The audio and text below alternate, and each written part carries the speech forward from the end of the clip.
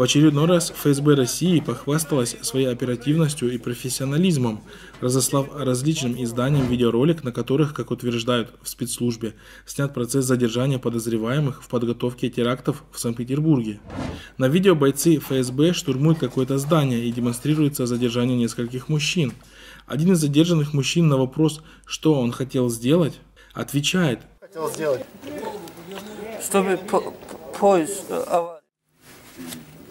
также на видео оперативники демонстрируют Коран, а также сумку с баллоном, похожим на газовый. Ничего кроме баллона в сумке нет.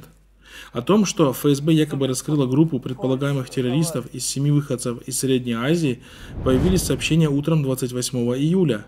Имена задержанных и то, какие именно обвинения им предполагается предъявить, не сообщаются. ФСБ утверждает, что задержанные готовили теракт на железнодорожном транспорте.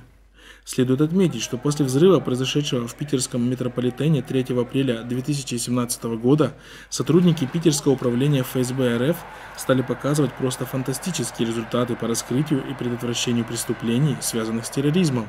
Объектом потенциальных террористов они выбрали беззащитных мигрантов из Центральной Азии. Как отметили независимые эксперты, все видеозаписи, предоставленные ФСБ РФ, по данным делам являются постановочными, что видно даже невооруженным взглядом.